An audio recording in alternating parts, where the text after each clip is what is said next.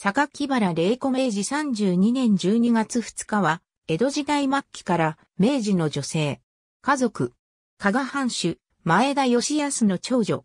署名は、牧姫、霊姫。子爵、榊原正隆の妻。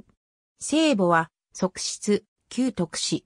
同母帝前に、前田利次、有栖川宮武人親王妃、イコラがいる。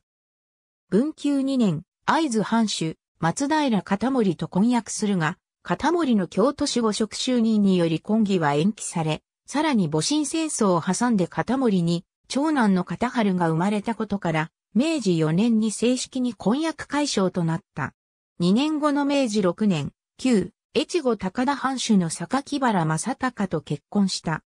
霊子は、和目、常子を生み、常氏は養子の榊原正和の夫人となったが、体が弱かったらしく、霊子、常氏、常子の産んだ後取り息子の生殖までが、長命の夫、清家に先立って死去した。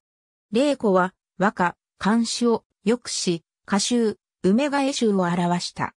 石川県市第二編、P1492 当時の慣習としては、婚約、幕府の認可、結納を経ていれば、婚儀の一部は成立しているとみなされるため、経図上は、形質と記される。榊原正隆は、当初、玲子の妹の寛姫と婚約していた。ありがとうございます。